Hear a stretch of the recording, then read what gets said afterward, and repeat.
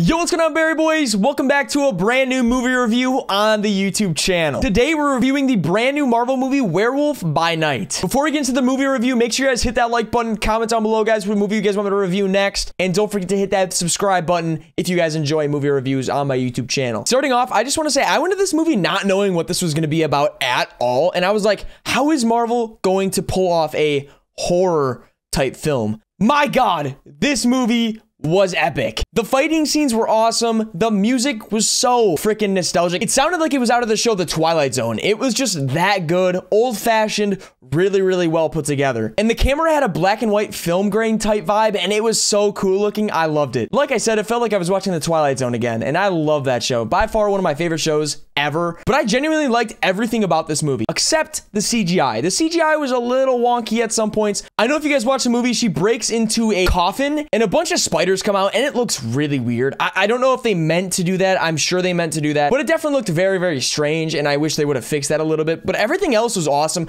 The fighting scenes were really, really good, and it had this different type Marvel feel to it. I didn't feel like I was watching a Marvel movie. I felt like I was watching a literal horror movie. I think I jumped at one point. I'm not even joking. There was a lot of blood in it, actually, which was really, really surprising, and I, I enjoyed a lot of blood in. It looked like Doctor Strange in the Multiverse of Madness blood. Like, it, it was a lot of blood, and I enjoyed it. I really did. They should have added a little more. I thought it would have been, a, uh, I needed it a lot more bloodier. But I would definitely have to put that these characters were pretty likable, and I, I, did, I, th I thought I was going to like them, but I genuinely did. Gael Garcia Bernal, I think I pronounced that right. If I didn't, I'm so sorry. He did a great job playing the main protagonist of this movie. Same with Laura Donnelly. Genuinely, I just love this film. And the movie was only 54 minutes long, so I stayed engaged the entire time, didn't drowse off, didn't fall asleep.